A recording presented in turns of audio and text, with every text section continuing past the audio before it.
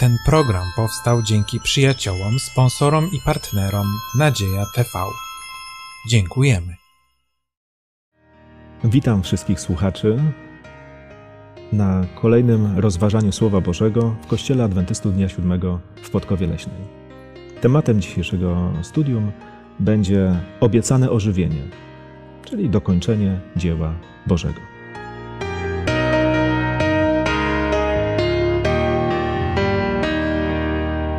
Razem ze mną w rozważaniu Bożego Słowa biorą udział Zbyszek, Klaudia, Stanisław.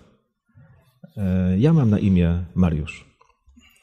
Jak zwykle studium Bożego Słowa rozpoczynamy wspólną modlitwą i bardzo proszę, aby rozpoczął e, modlitwą Stanisław.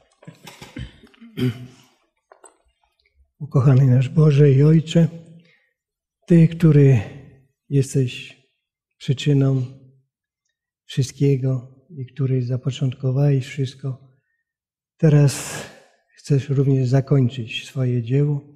Dlatego my, studiując ten temat, prosimy Ciebie, abyś zagościł wśród nas duchem swoim, swoją mądrością, aby to studium Słowa Bożego było zgodnie z wolą Twoją i przyniosło owoce tak nam, jak i wszystkim słuchającym, za co dziękujemy Ci przez Jezusa Chrystusa, Pana naszego. Amen.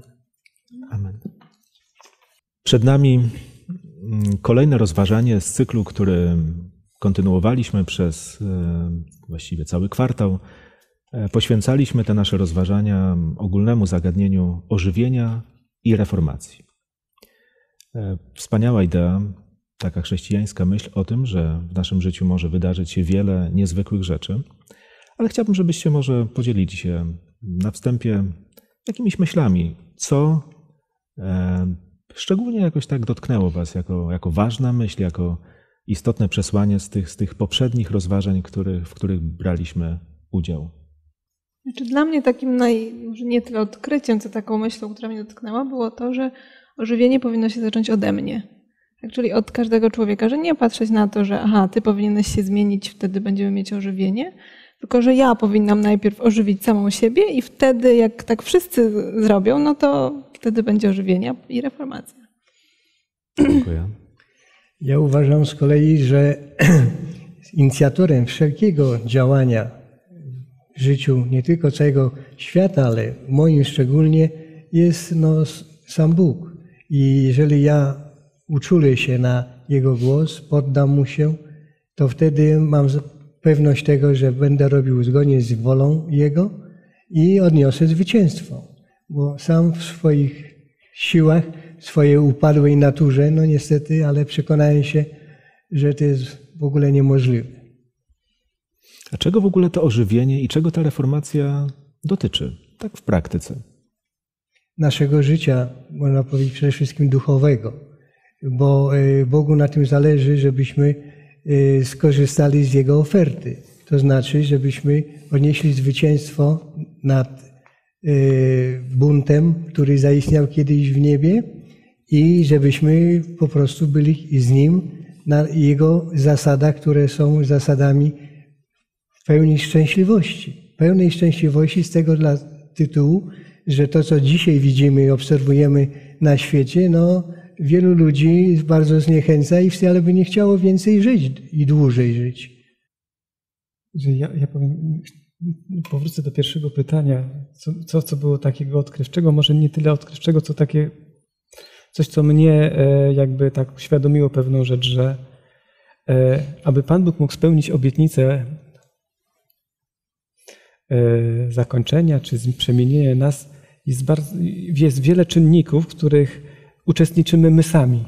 My podejmujemy decyzje, my w jakiś sposób albo Panu Bogu dajemy szansę na zrealizowanie tej obietnicy, albo po prostu ona nas ominie.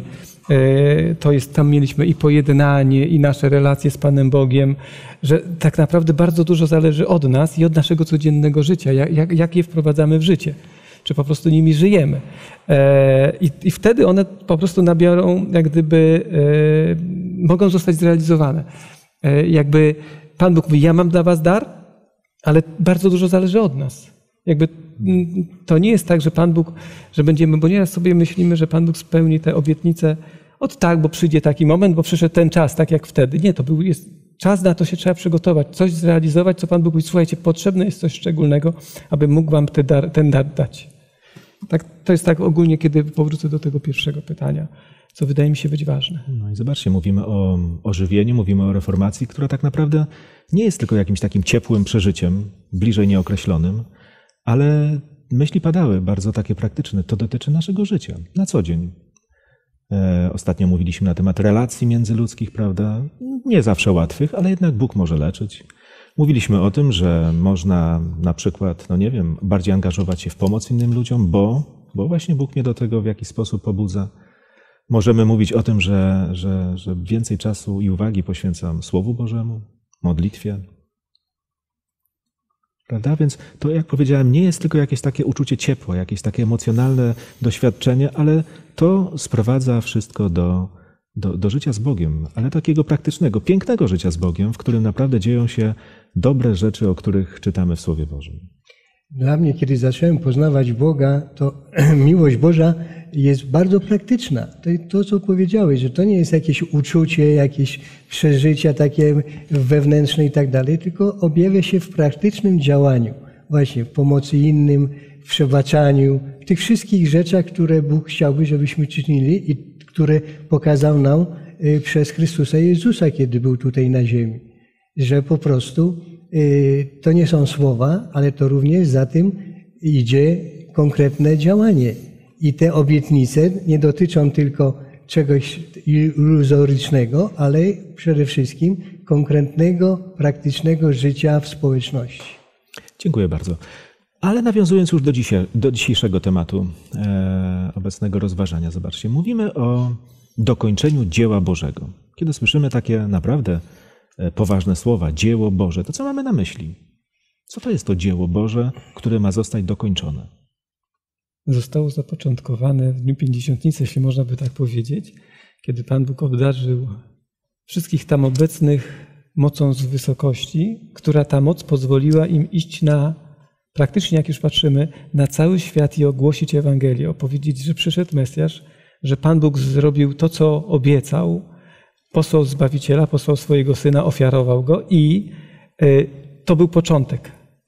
Ale kiedy teraz wracamy do końca, to jakby przeskakujemy w czas, co myśmy przez te parę wieków historii zrobili z tą obietnicą, ale jakby Pan Bóg mówi, dobrze, ale jeszcze na samym końcu chciałbym, że z tego wynika, że świat mimo wszystko nie jakby gdzieś zagubił tę prawdę. Bo Pan Bóg mówi, potrzeba jest ponownego zaniesienia na samym końcu, kiedy będzie się finał historii świata zbliżał do końca, ogłoszenia tego, ale jak gdyby przygotowania jak największej ilości ludzi, żeby mieli szansę otrzymać zbawienie, które zostało im ofiarowane. E, ale Pan Bóg mówi, wtedy znowu dam w szczególny sposób swoją moc z góry.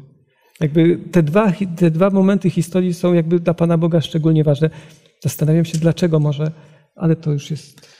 Jeżeli mogę, zobaczcie, dzieło Boże, mówimy o jakimś spełnieniu, prawda, wykonaniu tego dzieła, które, w którym pięćdziesiątnica ma niezwykłe znaczenie, ale kiedy, kiedy czytamy Słowo Boże, to widzimy, że tak naprawdę Bożym planem jest y, ratunek człowieka. Żyjemy na ziemi, która, no, niestety jest niedoskonała, my to wiemy. Natomiast Bóg nigdy nie zrezygnował z tego planu, żeby do tego wspaniałego finału, a więc życia w pokoju, bez śmierci, bez chorób, żeby nas do tego doprowadzić. I to jest to wielkie dzieło, to jest ten wielki zamiar Pana Boga. No cóż możemy zrobić? Możemy tylko czekać na spełnienie tych obietnic, ale nagle dowiadujemy się, że jednak jakiś udział w tym mamy.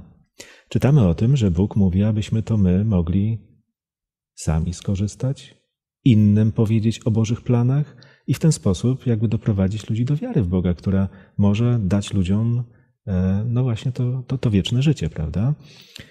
Dzisiaj będziemy koncentrowali się na tym, że Jezus nam właśnie takie zadanie zlecił. Idź i powiedz. Kto z Was by może przytoczył słowa z Ewangelii e, Mateusza, 28 rozdziału? Tam mamy przepiękne słowa od wiersza 18 do 20. Możemy czytać tutaj z jednej strony o zadaniu, ale o obietnicach, które temu zadaniu mogą towarzyszyć. A Jezus przystąpiwszy, rzekł do nich te słowa: Dana mi jest wszelka moc na niebie i na ziemi. Idźcie tedy i czyńcie uczniami wszystkie narody, chrzcząc je w imię Ojca i Syna i Ducha Świętego, ucząc je przestrzegać wszystkiego, co wam przykazałem. A oto ja jestem z wami po wszystkie dni, aż do skończenia świata. No właśnie, co jest zadaniem? Uczyć innych, co, co jest potrzebne do tego, żeby zachować życie wieczne i, i żeby po prostu mieć y, tą szansę dalej doznać tych wszystkich wspaniałości, które Bóg nam obiecał, prawda? Jezus wiedział, że sami w swojej mocy nie jesteśmy w stanie tego dokonać w tak dużym świecie, przy takiej liczbie ludności, więc obiecał nam cały czas pomagać. Obiecał nam Ducha Twego Świętego, który będzie z nami i który będzie w odpowiedniej sytuacji i czasie y, mówił, co nieraz mamy zrobić, co powiedzieć i tak dalej. Czyli ta obietnica ma na celu przede wszystkim uratowania każdego z nas, jeżeli uwierzymy i przyjmiemy tą obietnicę. Kiedy myślę o tym tekście, to mnie tak uderza ta myśl. Czyńcie uczniami wszystkie narody. E, z pozycji, znaczy to, co powiedziałeś, Stasiu, jest to prawda. Z pozycji człowieka, który e, uważa, że wie wszystko, nagle ma się stać uczniem. Osobą, która e, jest otwarta na kogoś, kto wie lepiej, kto, kto ma dla niego coś naprawdę dobrego do zaoferowania. Czyli jakby zmienienia postawy wobec, in, wobec siebie, wobec innych, bycie uczniem. Ale y, tutaj powiedziałeś, że człowiek by sam znał. Człowiek nie zna właśnie, w ogóle nie wie, ja przynajmniej nie wiedziałem, jaki jest sens i cel mojego życia. I dopiero kiedy przyszedłem, przyjąłem Chrystusa, On mnie uświadomił, dlaczego jest tak źle na tym świecie i czy tak zawsze będzie, czy jest szansa na to, żeby poprawić to swoje życie, prawda? I to jest właśnie istotne, żebyśmy my uświadamiali też innych, jak już sami zostaliśmy uświadomieni, jak należy wygrać i zwyciężyć tą walkę, ten wielki bój, ponieważ no, przedtem człowiek, ja przynajmniej nie wiedziałem. Ale jeżeli mogę, e, e, zobaczcie, czytamy w Słowie Bożym o tym idźcie. Nauczajcie wszystkie narody. To, są, to jest tak niezwykle wielkie pojęcie, ale tu nie chodzi o pojęcia. Pierwszy raz usłyszeli to apostołowie. Dwunastu skromnych ludzi. Wiecie, kiedy dwunastu ludzi słyszy idźcie na cały świat, co można poczuć? No bezsilność. Wydaje mi się, że bezsilność. No to, to jest niemożliwe, to jest druga myśl. Nawet kiedy do serca brało sobie to później już 120 osób, jak mówią dzieje apostolskie, zgromadzonych w wieczorniku, 120 osób i cały świat. Znowu dzieło niemożliwe do wykonania. I Jezus dobrze to wiedział. Dlatego mówiąc idźcie, mówi jestem z wami po wszystkie dni, aż do skończenia świata. Przepiękna obietnica. Albo inna. Dana mi jest wszelka moc na niebie i na ziemi. No, jedynie patrząc na to zlecenie, na to wielkie zadanie, ale właśnie przez pryzmat obietnic Jezusa Chrystusa, można mieć nadzieję, że nasz udział w opowiadaniu o ratunku Boga w świecie e, może zakończyć się sukcesem, bo inaczej, no cóż my możemy?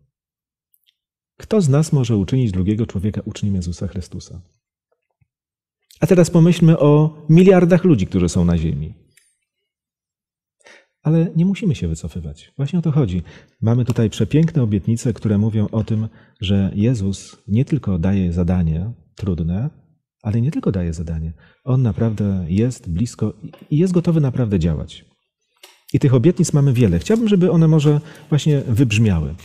E, takie obietnice tej, tej obecności, pomocy Boga w tym wielkim dziele, e, no, ogłaszania ratunku Boga ludziom, no wszystkim ludziom, bo wszyscy jesteśmy w zasadzie w tym samym położeniu.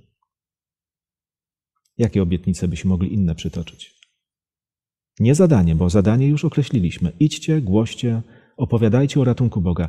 Jakie inne słowa mogą nas zachęcić, dając nadzieję, że no, obietnice dotyczące pomocy konkretnej, czyli po prostu tutaj mamy takimi dwoma y, obietnicami w tym względzie, to znaczy y, nazwanymi raz wylanie deszczu wczesnego i deszczu późnego, czyli po prostu y, wylanie Ducha Świętego dla tych, którzy będą chcieli uczestniczyć w tej pracy i w, tym, w tej misji, jaką zlecił, kiedy odchodził Chrystus, prawda? Jeszcze chciałbym zwrócić uwagę, bo teraz taka Wydaje się, że wylanie Ducha Świętego pamiętamy o pięćdziesiątnicy i o nim pamiętamy, że to, to było to szczególne, ale kiedy przyjrzymy się dziejom apostolskim dalej, to widzimy, że Duch Święty stępował później na już indywidualne osoby, kiedy widzimy tak Piotra z Korneliuszem, e, czy inne przypadki, w których nagle Duch Święty ogarnia tych ludzi i podobny mamy efekt, jaki mieliśmy w pięćdziesiątnicy. Jakby e, tam mamy to, to duże zgromadzenie, ale także jak gdyby obietnica ta dotyczy także indywidualnych spotkań i poznawania Pana Boga, że Pan Bóg jakby obiecuje. Ja, to nie znaczy, że to będzie jednorazowy, takie wylanie kubła z wodą i zmoczyłem was. Nie, to będzie dawkowane, jakby ta obietnica jest dana. I teraz tak jak myślałem, że to nie tylko, że wtedy Pan Bóg to dał i obiecał, ale to pragnie realizować przez całą historię e, do samego końca. W taki, ale znowu to będzie zależało od miary, czy my będziemy gotowi na to, mm, tę obietnicę przyjąć i ją realizować w życiu. Ale, ale też y, y, jakby dla mnie takim mm, może nie obietnicą, co dowodem jest to, że my dzisiaj to czytamy. Tak, bo tak jak powiedzieliśmy, był jeden człowiek, znaczy był Chrystus, było dwunastu ludzi, którzy mieli to yy, tak ogłosić, potem tych 120, a dzisiaj na całym świecie mamy Biblię, tak, czytamy w milionach egzemplarzy i miliony ludzi czytają, studiują yy, i, i jest, tak? Więc to też jest dowód na to, że rzeczywiście to, co Chrystus powiedział, znaczy, że tak jest, tak? On jest i cały czas podtrzymuje jakby to głoszenie swojego słowa. Przez kolejne pokolenia to dzieło jest prowadzone, prawda? Zresztą to była obietnica, która była powtarzana wielokrotnie, zobaczcie. Ale weźmiecie moc Ducha Świętego. Tak czytamy w Dziejach Apostolskich w pierwszym rozdziale i wierszu ósmym i będziecie mi świadkami. W Jerozolimie tak się zaczęło, w Judei tak było na początku, w Samarii i aż po krańce ziemi. Tak miało być i tak rzeczywiście jest. I tak jak Klaudia mówisz, jesteśmy chyba tego, tego takim żywym dowodem. Chwała Bogu za to. Ale to jeszcze nie koniec, prawda? Jesteśmy tym pokoleniem, na które Bóg też chce działać swoim duchem i tą mocą z wysokości obdarzeni mamy mamy po prostu opowiadać radosną nowinę, bo Ewangelia to jest dobra wiadomość o Bogu, który nas ratuje. Ale jeżeli mogę, żebyśmy może też zwrócili uwagę na to, że owszem, Słowo Boże mówi o mm, obietnicy Ducha Świętego, mówi bardzo jasno, bezpośrednio o tym, kim jest, co robi, ale mówiąc o tej obietnicy Ducha Świętego, używa też pewnych symboli. Nie zawsze jest to stwierdzenie Duch Święty. E, czasami e, w kontekście tego Ducha Świętego są pewne symbole, które no, na ludzi żyjących wtedy bardzo mocno oddziaływały. Było to przekonujące świadectwo takiego niezbędnego działania Pana Boga. Jakie symbole w Słowie Bożym mówią o tym, że Duch Święty ma działać w szczególny, skuteczny sposób? Księga Joela w sposób taki bardzo wyraźny pokazuje, wspominając, co zostało nawet w tej księdze wyjaśnione, mamy deszcz późny, deszcz wczesny, a później zaraz wyjaśnienie, oto wyleję mego ducha na wasze córki, na waszych synów. Nawet Piotr się na to powołuje, więc mamy tutaj bardzo konkretny przykład czy ilustrację pewnego naturalnego zjawiska, które w Palestynie w tamtym klimacie występowało, deszcz wiosenny i deszcz jesienny, który jakby pomagał jakby zebrać jeden wczesny do wzrostu, a drugi do zbiorów, do dojrzewania, jak gdyby do, że te plony były w pełni jakby dojrzałe i obfite. Więc Pan Bóg wykorzystał ten, tą obietnicę. Może dla nas ona jest dzisiaj mniej czytelna w naszym, naszym kręgu kulturowym, dlatego że my nie znamy pojęcia deszcz późny, deszcz wczesny, bo u nas po prostu deszcz pada cały czas. Albo nie pada. Albo nie pada. I wtedy mamy problem, zobaczcie. Jak nie pada, to jest problem. Jeżeli się nie pojawi w określonym okresie wzrostu rośliny, to zbiory są albo nędzne, albo nie ma ich wcale. I na tym przykładzie, zobaczcie, takiej pełnej zależności od Pana Boga, żeby mieć chleb, na kolejny rok, żeby móc przeżyć przez kolejny rok. Właśnie prorok Joel mówi: Potem wyleję mojego ducha na wszelkie ciało, i wasi synowie i wasze córki prorokować będą. Wasi starcy śnić będą, wasi młodzieńcy będą mieli widzenia. Także na sługi i służebnice wyleję ducha w owych, dnia, w owych dniach. Księga Joela, trzeci rozdział, wiersz pierwszy, drugi. Ale ja bym chciał jeszcze tutaj zaznaczyć, że to wylanie ducha to nie jest tylko w skali globalnej, nie dotyczy problemu dotyczy kościoła czy coś, ale ja tak odnoszę wrażenie każdego z nas. Każdy z nas musi najpierw, jakby można powiedzieć, y, przyjąć ten deszcz y, jesienny, a później ten deszcz wiosenny, żeby móc wzrastać. Zresztą w stosunku do y, samych apostołów zastosował to chyba Chrystus nawet. Bo jeżeli weźmiemy sobie Ewangelię Jana, 20 rozdział i 22 y, werset, to jest tu napisane, a to rzekłszy, tchnął na nich i powiedział im, weźmijcie Ducha Świętego. Popatrzmy, to- było, gdy nastał wieczór owego pierwszego dnia po sabacie i drzwi były jeszcze zamknięte, kiedy Chrystus zaraz po zmartwychwstaniu się ukazał. Więc popatrzmy, i co było, co nastąpiło po tym, kiedy tego ducha Jezus Chrystus dał zaraz po zmartwychwstaniu. Oni przez 50 dni byli razem, modlili się i tak dalej. O co? O tego wylanie następnego, jakby na tego większego deszczu na nich, kiedy to była właśnie pięćdziesiątnica. I wtedy oni przygotowywali się jakby do tego przez 50 dni, a później, kiedy było wylanie tego późnego deszczu, oni wyszli i zaczęli głosić. Normalnie, zaraz następnego dnia, jakby można powiedzieć, wyszli z tego pomieszczenia i na, przed e, świątynią e, wobec publiczności zaczęli głosić dobrą nowinę. I mnie się wydaje, że u nas takim, każdego człowieka w życiu również musi najpierw ten deszcz najpierw nas przygotować do tej misji, a później dopiero, kiedy będziemy przygotowani, to y, on y, zastosuje y, ten, jakby tą większą jakby moc, nie wiem jak to rozumieć, ale że wyjdziemy i będziemy mówić o tym ludziom. I, I pisarka właśnie chrześcijańska Ellen White y, potwierdza to, że dopóki my nie będziemy przygotowani do tego, to Bóg nam tego y, ducha nie udzieli. Czyli wszystko musi się wydarzyć w określonym czasie. No ale właśnie co ma się wydarzyć? Czekamy? Jakie warunki rzeczywiście widać w Nowym Testamencie w życiu tych, którzy no, w pełni doświadczyli mocy Ducha Świętego? E, W dniu Pięćdziesiątnicy, później, bo ta obietnica nie odnosiła się tylko do apostołów, ale do wszystkich, którzy mieli, mieli uwierzyć. Co się rzeczywiście takiego działo, że Bóg mógł błogosławić tym niezwykłym darem także inne postaci? Co ludzie robili? Znaczy tutaj sięgamy znowu do początków naszego studium, kiedy przyglądaliśmy się, co uczniowie czynili przez te kilkanaście dni, bo to w zasadzie 10 dni, bo mm, jeszcze mamy te 40 dni, kiedy Pan Jezus był od momentu w niebo wstąpienia Pana Jezusa. Trwali na modlitwie, trwali na wspólnym miejscu, na badaniu samych siebie, Wyznawali wyznawaniu grzechów swoje. i tak dalej, jak gdyby takie dogłębne badanie siebie, ale także nie tylko to, bo myślę, że w pewnym momencie jakby pewne rzeczy potrzebują czasu, żeby do człowieka dotarły. Nieraz otrzyma człowiek jakąś e, informację czy obietnicę, ale ja mam u siebie coś takiego, że po prostu zanim to do mnie dotrze tak naprawdę, zrozumiem to, musi upłynąć jakiś czas. E, Więc oni jakby w tym czasie raz, że patrząc, zobaczyli, co oni mogą, nagle uświadomili sobie potrzeby, przecież co my jesteśmy. Zobaczcie, jacy byliśmy słabi, kiedy był Pan Jezus. Ale jednak Pan Jezus dał nam tę obietnicę i walczyła wiara albo niewiara, wiara albo niewiara, wyznawanie grzechu. Ale także była ta obietnica, co ich zatrzymywało. Nie pójdźmy, bo Pan Jezus tam coś obiecał. Tyle razy obiecywał, myśmy, za, myśmy za, nawet przeoczyliśmy zmartwychwstanie i śmierć, której nam zapowiadał, nie wierzyliśmy. I jakby e, trwanie i ta wiara zwyciężyła, że coś się wydarzy, ale oni także, panie, ale może być jakaś przeszkoda w nas. I znowu badali siebie.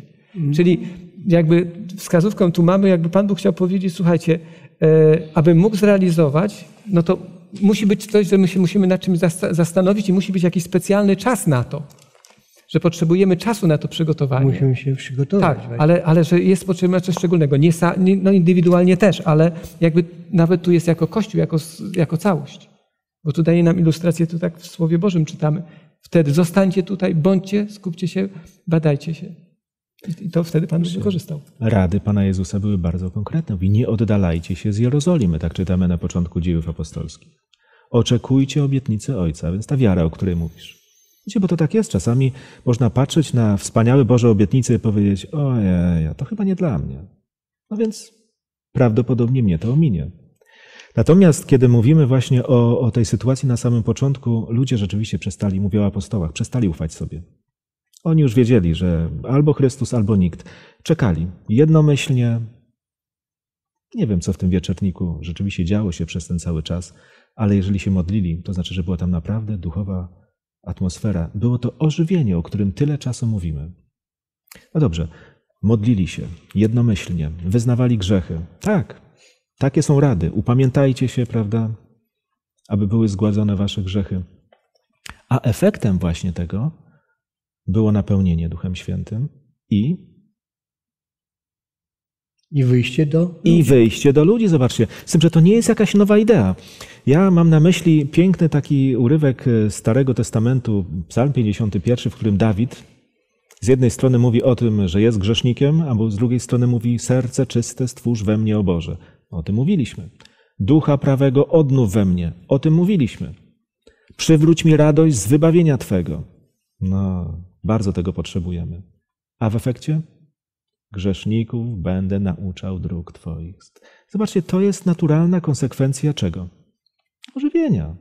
Duch Święty w moim życiu przynosi efekt taki, że ja się zmieniam, ale, ale jestem też zachętą dla innych, czy nawet takim źródłem informacji dla innych o tym, że w Bogu jest ratunek. I to właśnie przyniosła pięćdziesiątnica i z tym, że jeszcze raz, zobaczcie, mówimy o rzeczy bardzo ważnej. Duch Święty nie spływa na Kościół, na wszystkich, na tłumy, na zgromadzonych na stadionie. Nawet gdyby spłynął na wszystkich, którzy na jednym stadionie się modlą, to na każdego spłynie oddzielnie. Bo taka jest zasada działania Pana Bożego, Pana, Pana Boga, działania, działania Bożego. Dlatego zbawienie nie dotyczy czegoś globalnie. To nie będą zbawiane kościoły i członkowie w tych kościołach, tylko każdy indywidualnie, w zależności od swojego stosunku do Boga i do przyjęcia Jego po prostu oferty, prawda? Bo mamy wolną wolę nie po to, żeby później sam Bóg, który ją dał, gwałcił. Jeżeli zgodzimy się na to, On będzie uczestniczył w naszym życiu, będzie nas prowadził, ale wszystko wymaga naszej współpracy i zgody, prawda? Czy zgody i współpracy, o tak. Wyboru Boga. Od tego się zaczyna. A inne symbole, mówiliśmy deszcz wczesny, deszcz późny, więc taka zależność od Boga, wyleje Ducha Świętego.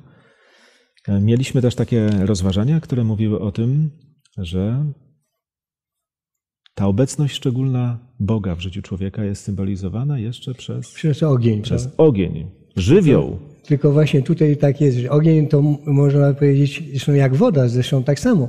Ma skutki dobroczynne, ale może mieć skutki fatalne, prawda?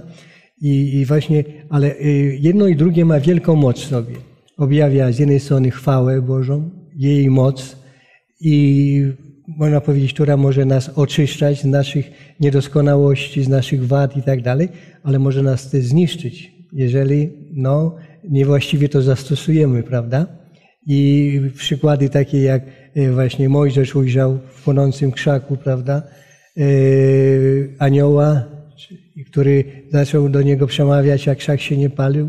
Później, kiedy Eliasz na, e, sam w konfrontacji z prorokami Bala również powiedział, żeby Bóg objawił swoją moc. On objawiał w ogniu. W ogniu y, był objawiona y, Duch Święty na y, płomykach ognia, można powiedzieć, nad głowami y, tych, którzy y, uwierzyli y, Jezusowi Chrystusowi, prawda? Także widzimy, że jest to bardzo istotna rzecz, tylko mówię, trzeba pamiętać, bo sam ogień również zniszczy na koniec, jest powiedziane, wszystko i wszystkich, którzy niestety nie przyjęli Bożej y, pomocy i ratunku. Czy nadano temu symbolowi różne, różne znaczenia, natomiast w tym przypadku mówimy właśnie o tym, no przytaczałeś, krzak, który się pali. Zdejmij sandały swoje, bo miejsce, na którym stoisz, jest święte. Zobaczcie, do czego nas to prowadzi. Obecność Boga w życiu. To obecność kogoś wyjątkowego, świętego. Rodzi się jakaś bojaźń przed Bogiem, rodzi się poczucie małości swojej, wielkości Boga. Ale Mojżesz rzeczywiście w sile tego spotkania, znaczy może nie samego spotkania, ale w ogóle Boga, który w tym momencie mu się objawił, poszedł i wyprowadził naród z Egiptu. Wspomniałeś Eliasza na górze Karmel.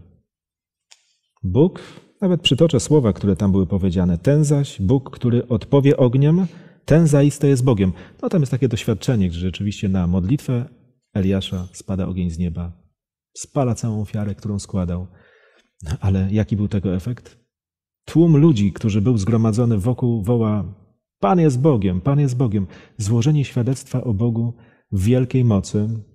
No oczywiście można robić to indywidualnie, cicho, powoli. Bóg też tak działa. Ale kiedy mówimy o tym wielkim zadaniu dla całego świata, Bóg mówi: trzeba zrobić coś, co będzie skuteczne dla mas.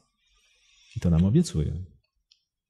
Na początku postawiłem pytanie e, sam sobie, ale też tak jakby rzuciłem je, dlaczego akurat jest ta przerwa pięćdziesiątnica na początku i na samym końcu, jakby obietnica jeszcze większego działania Pana Boga.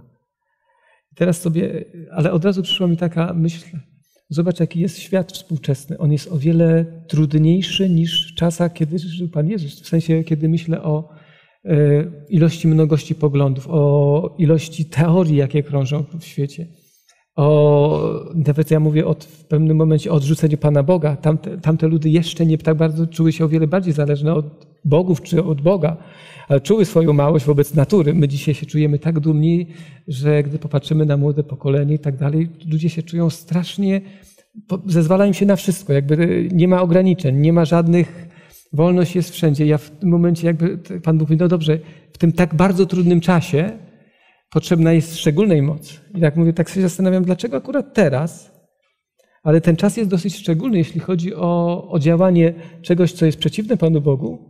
Jak gdyby Pan Bóg chce pokazać, ale ja także nadal jestem takim sam, ja się nie zmieniłem. Bo naprawdę żyjemy w czasach naprawdę bardzo trudnych. Do młodych ludzi jest bardzo trudno nieraz jest dotrzeć, żeby cokolwiek poruszyć. Ich te, te sprawy jakby nie interesowały, oni są zupełnie czymś innym zajęci. Inaczej to wygląda u starszych. I sami sobie jeszcze utrudniamy bo widzicie, e, e, multimedia, które dzisiaj mam do dyspozycji, jest to, może być błogosławieństwem, ale może być również przekleństwem. Szatan kiedyś e, nie miał tak blisko i tak bezpośrednio dostępu jak dzisiaj. I tutaj naprawdę potrzeba wielkiej mocy ze strony Boga i opowiedzenia się za Bogiem, żeby zrezygnować z uczestnictwa poprzez oczy, słuch, zapachy, smaki i tak dalej w tym wszystkim, bo sami jesteśmy słabi, jesteśmy cieleśni, jak dzisiaj na kazaniu mówiłeś, i mamy tą naturę grzeszną, która no niestety jest bardziej podatna na te negatywne rzeczy niż na te pozytywne. Wspaniałe cele wymagają niezwykłych środków. I Bóg je ma. I Bóg je ma. Także obietnice są niezwykłe. Bóg niezbędny. Ale w końcu, kiedy patrzymy na apokalipsę świętego Jana, to widzimy, że wszystko znajduje swój finał. No, to znaczy, apokalipsa jest pełna obrazów strasznych, ale wszystkie kończą się dobrze. Zauważyliście to chyba, prawda? Co by się nie działo, nawet plagi, które są, kończą się interwencją Pana Boga i okazuje się, że świat, który wygląda tak, jakby Bóg rzeczywiście nad nim nie miał żadnej władzy i nie panował, okazuje się, jest światem, który należy do Pana Boga, który On porządkuje. Ale dla kogo się kończą dobrze? Tu jest, powstaje tak. pytanie. Bo nie dla wszystkich. Dla niektórych, no niestety, i to okazuje się, że chyba dla większości, no nie skończy się dobrze. Znaczy myślę, że teraz nie, nie, nie potrafi, nawet nie mamy chyba możliwości wypowiadać się tak. w imieniu Pana Boga w tej kwestii. Z całą pewnością widzimy jednak to, że ten obraz końca Biblii jest obrazem triumfu Boga. Triumfu Boga.